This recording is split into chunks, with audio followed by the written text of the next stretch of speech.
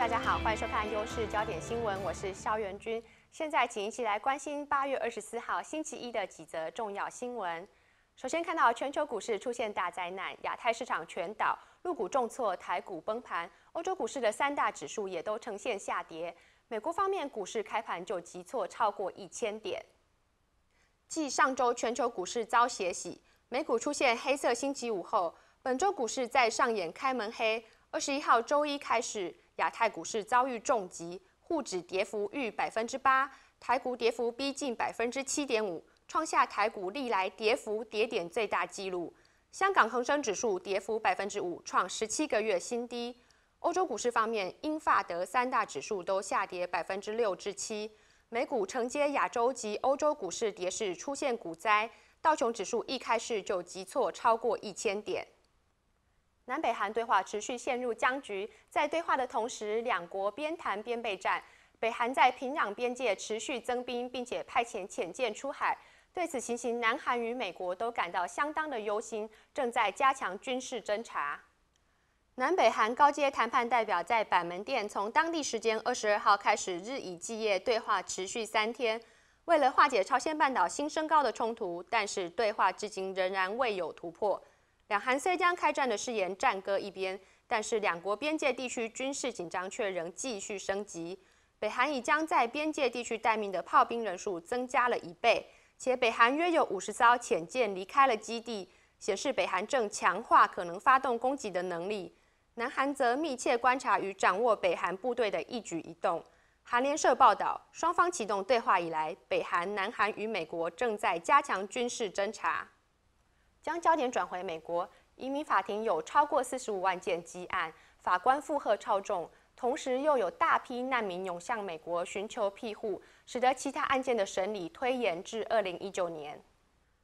全美移民法庭的案件积压严重，法官人手严重短缺，法庭工作人员办公室空间和设备长期不足，移民法官的工作负荷和压力剧增，而移民法庭的积压案件如今已超过四十五万件。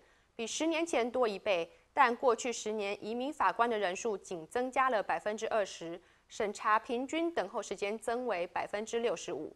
如今中美洲偷渡客涌入美国，他们的庇护申请大增，加重了案件的积压，使移民法官焦头烂额。其他案件的审理排期被推迟到二零一九年。在文艺新闻方面，来自中国的作家刘慈欣获得了被称为科幻小说界诺贝尔奖的雨果奖。成为得到该奖的第一位亚洲人士。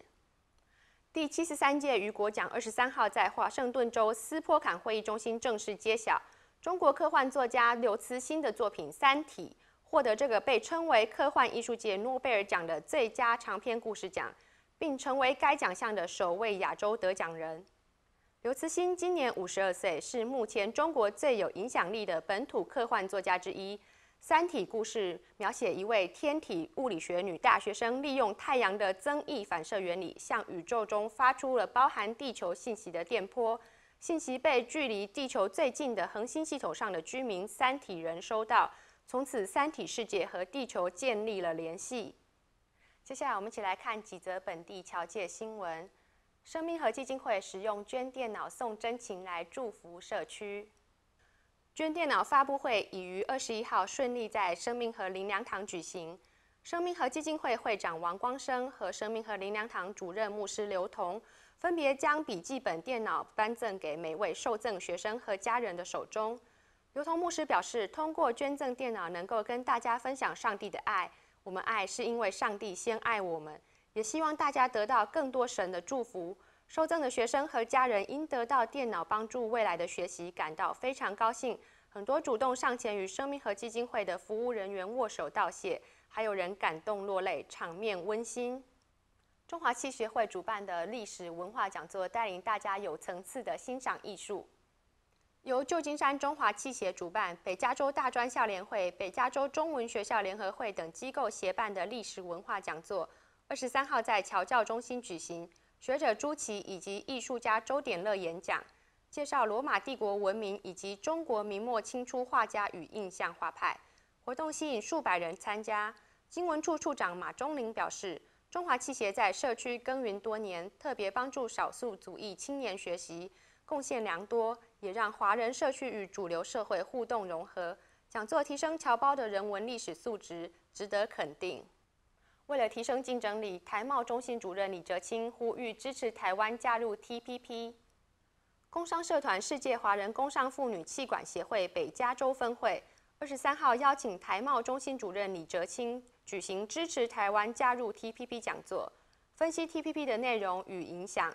李哲清说，在 TPP 贸易框架底下，约九成关税都已撤销，各国间互补而得利。经济利益之外，政治上的合作与交流也是 TPP 的注意之一。新闻处处长马中林表示，经济整合是未来的趋势，台湾要在国际上维持竞争力，不被孤立，TPP 的协定非常重要。以上新闻由优视频道制作，感谢您的收看，再会。